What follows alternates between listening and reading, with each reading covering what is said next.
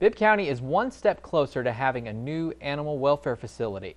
The Bibb County Commissioners approved to move the center to Fulton Mill Road at Eisenhower Parkway. The land is already owned by the county. The Commissioners also voted on an architecture group to take on the project. Dunwoody Beeland is a local firm and they'll work with Tevis Architects, a Kansas company that specializes in designing animal welfare buildings.